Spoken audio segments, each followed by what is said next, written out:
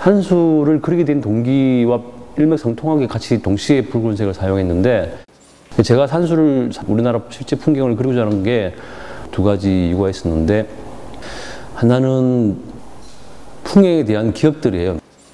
그 어머님에 대한 부분인데요. 그 제가 고향도 고제도고 그 어머님 고향도 통영에서 이제 고향인데 그 어머님이 어 제가 군대 제대할 때쯤에 돌아가셨어요. 돌아가셨는데 그 어머님이 늘 그 살아생전에 당신이 돌아가시면 그 화장을 해서 고향 그 통영 가장 행복했던 시절의 어떤 그 고향 풍경에다가 어머니 뼈를 뿌려, 뿌려달라고 이렇게 했었는데 유언대로 이렇게 어머니 뼈를 그 어머님이 자랐던 통영 그 앞바다 그리고 뒷동산 뭐 집 근처 이렇게 이렇게 뼈를 뿌렸는데 영국에 가기 전에 제가 그곳에 그 어머니 고향에 갔었는데 제가 뼈를 부렸던 그 장소가 완전히 개발로 개발로 인해서 사라졌더라고요. 내가 뼈를 부렸던 뒷동산도 없어지고 집도 없어지고 그 건설하면서 제 마을 자체가 아예 없어진 거죠.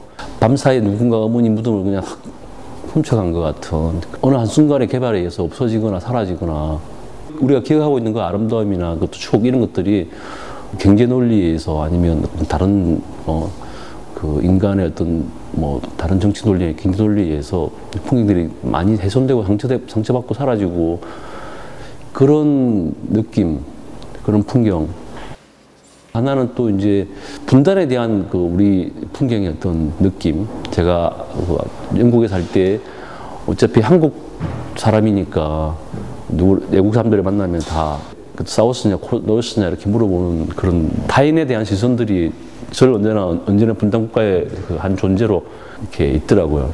그 분단의 아픔 같은 그 기억들이 대학교 때 전방 입소도 하고 군대도 전방에서 근무했는데 그때 봤던 그 어떤 풍경들 그리고 특히 이제 야간 투시경으로 꼈을 때 보여진 그 풍경들이 사실은 저한테는 굉장히 아름다웠고 무섭고 어 그리고 슬프기도 하고 뭐 그게 두 가지 동시에 오버랩되는 풍경들이 저한테는 늘그 기억 속에 있었던 것 같아요. 그래서 붉은색을 쓴 이유가 이제 아까 말씀하신 것처럼 그 두 가지 동시에 느껴질 수 있는 감정들 어쩌면 너무 아름답고 너무 아름다운 기억들이고 그렇지만 또 슬픈 기억들이 동, 시에 느껴질 수 있는 색깔이 제 생각엔 붉은색이었기 때문에 네, 그래서 붉은색을 사용했습니다.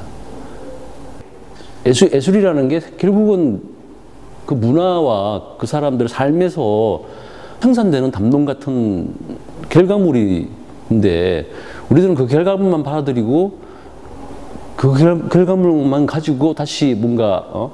담론을 생산하고 뭐 자기 것이냐 이렇게 그렇게 한다는 게 아닌 것 같더라고요. 제 스스로 그 정말 거짓말 같은 작업을 하고 있었고 그들에게 그, 그들의 현대 미술은 어떤 삶의 취적 같은 것들이었지만 우리에게 현대 미술은 그냥 아무런 삶과 연관이 없는 그들의 어떤 그런 이데올리를 따라가는 그런 것들이라고 사실 결론을 내렸었어요. 영국에 있을 때. 그럼 아, 그게 아니라는 생각을 했기 때문에 뭔가 다른 내, 나, 내가 그동안 살아왔고 어떻게 살아왔는지 아니면 내가 역, 내, 나 자신의 역사가 있고 우리 자, 우리 대한민국의 문화가 있고 대한민국의 정치적 현실도 있고 여러 가지 것들에 의해서 다시 되돌아보게 된 거죠. 그런, 것, 그런 것들을 되돌아보고 그럼 나중에 결국은 그런 차이가 풍경이었지 않나 생각을 해서 자연, 자연에 사람들이 적응하면서 뭔가 문화를 만들고 생산하고 그런 것들이었겠다라고 생각했기 때문에 풍경에 대해서 관심을 가지기 시작했었어요. 그러니까 내가, 내가 살았던 한국의 풍경들, 내가 거기서 어떤 정서를 풍경에서 이렇게 받아왔고, 또 그 풍경에 적응하면서 어떤 삶을 살아왔는지, 그런 것들을 생각을 쭉 하다 보니까 결국은 그런 지금의 이제 풍경들을 어떤 사라져가는 풍경들이나 아니면 분단된 국가의 어떤 현실 문제라든가, 그리고 지금의 한국의 어떤 어떻게 보면 천박한 자본주의의 경제 논리에서 모든 것들이 변질되어지고 만들어지고 그런 삶에 사, 살고 있는 것들을 표현하고 싶다는 생각을 했었어요. 그래서 어, 지금의 풍경을 그리기 시작했던 것 같아요.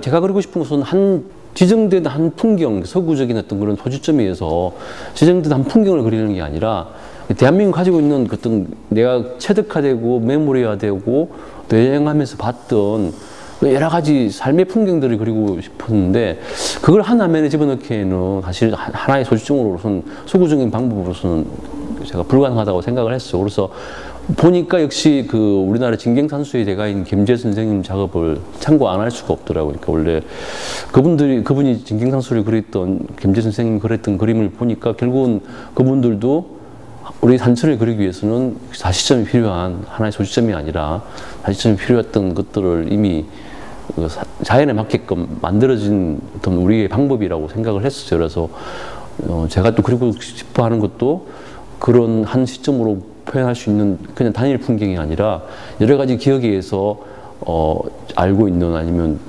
표현하고 싶은 풍경들의 포점들을 한 화면에 담고 싶었기 때문에 또 결국은 다시점을 이용하지 않았나 생각을 해요. 제 그림은 결국은 유토피아이거나 혹은 디스토피아이거나 뭐 누구나에게 다 유토피아일 수도 없고 또 누구나에게나 디스토피아일 수 없는 그걸 동시에 또 안고 살아가는 게 지금 현실이기 때문에 아마 그런 것 같아요. 예.